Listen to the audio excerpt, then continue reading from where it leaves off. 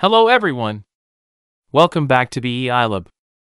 In today's video, we'll explain everything about connecting Google Drive to Google Colab you need to know. So, let's get started. When working on Colab, your notebooks and data can seamlessly sync with Google Drive, providing an organized and accessible space for your projects. This integration ensures that your work is automatically saved, allowing for easy collaboration and retrieval. Let's understand how to establish this connection. Open your web browser, navigate to drive.google.com slash drive slash my dash drive and sign in using your Google account and you'll have access to 15 gigabytes of space. This space functions much like your system, allowing you to perform actions such as creating folders, copying files, and more. For example, initiate a right-click and a new window will appear, presenting several options.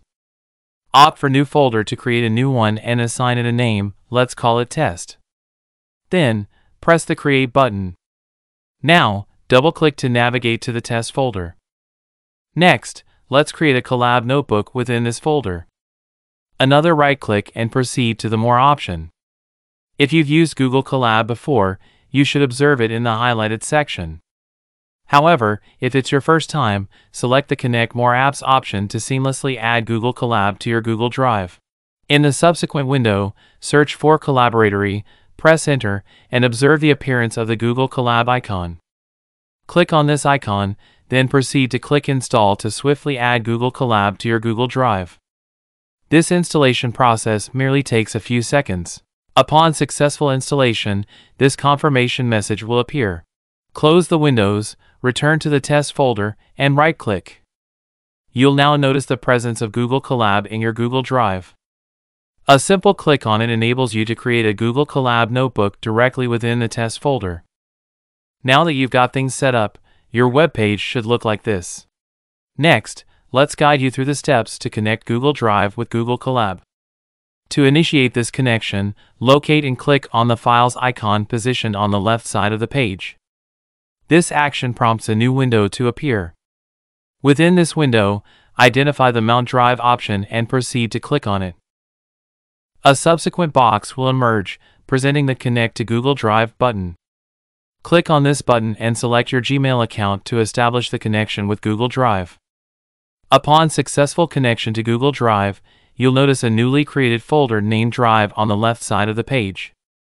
This folder serves as confirmation that Google Colab is now seamlessly connected to Google Drive, providing you with convenient access to your data stored in Google Drive directly within your Colab environment. At the top of the page, you'll notice the word Untitled. This serves as the title for your notebook. If you want to change it, hover your mouse over this word and change it. Within the Google Colab interface, you'll encounter a range of menus situated at the top, similar to menus found in other applications. One notable menu is the Runtime menu, which holds crucial functionalities for managing the execution of your code. In this menu, you can enable the GPU or TPU to enhance the performance of your code.